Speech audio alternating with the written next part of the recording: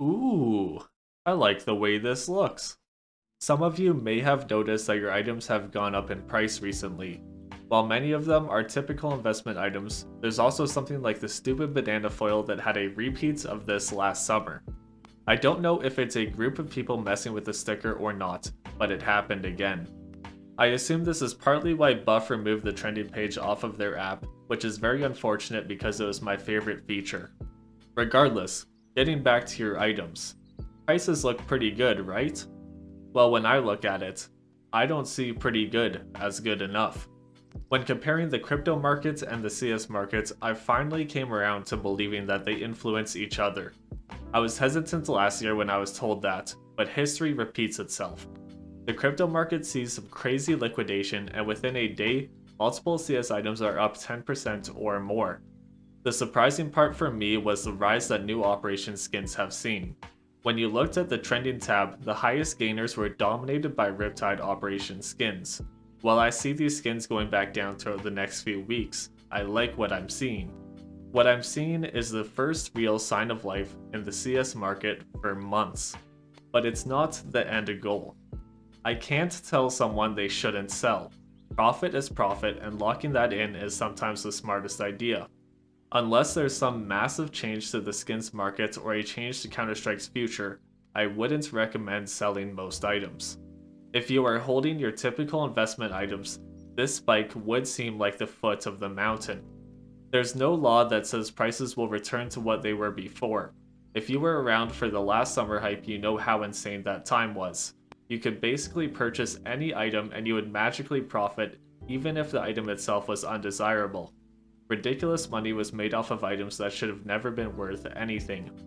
I didn't profit as much as I should have because I reinvested way too early. The items I purchased went down for another few months, and my profits almost disappeared. I'll be smarter next time. You may ask though, will the summer hype happen again? And I will ask you, what do you think will happen if it doesn't? Does the market stall for another half a year? Does time stop because there's no summer pump? Older stickers, older cases, operation skins, beautiful and expensive crafts? Is this the peak? Let's take a step back and look at the price graph of last year. Many of the items start and end at a very similar price. These are items that have been bought up, consumed, thrown in storage units, banned, and forgotten. Last summer, many items hit all-time highs. Today, many of these items have fallen all the way back down. Now let's take a look at a longer term graph. Typically, you can expect somewhere around a 20% increase when looking at the prices before the hype and after. I just mentioned how I lost money reinvesting this year. That's because I used previous years to determine what the low should look like. Prices dipped more than previous years, and unfortunately, I'm an example of that. I'm sure quite a few of you are too.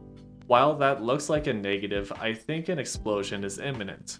For the prices to be so stagnant despite people constantly reinvesting more and more, I see an explosion on the horizon. It could be summer hype again, it could start earlier.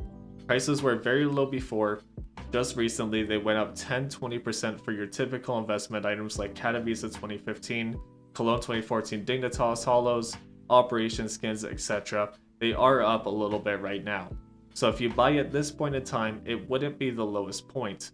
But looking at the future, within the next few months, within the next year, this is still a good time to buy many of these items.